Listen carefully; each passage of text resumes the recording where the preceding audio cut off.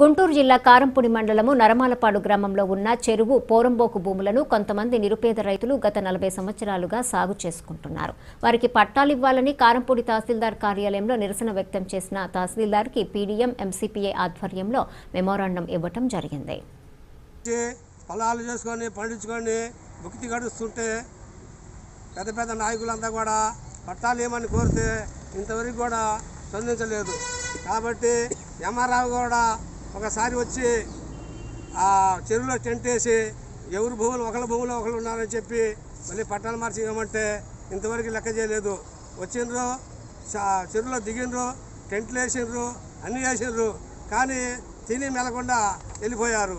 ఇంతవరకు అజాపజా రెండు లేవు. కాబట్టి మా నర్రలపాడు పేద ప్రజలకి భూమి ఇవ్వమని మేము కోరుకుంటున్నాం.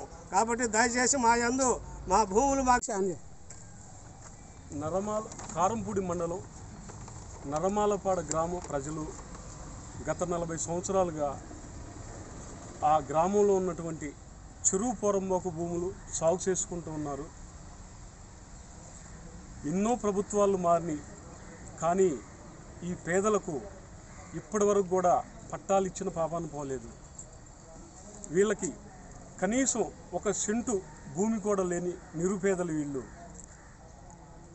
ఇవాళ రాజ్యాంగంలో ఏముందంటే ప్రతి ఒక్క గ్రామంలో కూడా చెరువు పొరంబోకు భూములు కానీ ప్రభుత్వ భూములు కానీ బంజరు భూములు కానీ గ్రామంలో ఉన్న ఎస్సీ ఎస్టీ బీసీ మైనార్టీలకి భూమి లేని నిరుపేదలను పిలిచి వాళ్ళకి భూములు ఇవ్వాలని చెప్పేసి రాజ్యాంగంలో పొందుపరిచి ఉంది.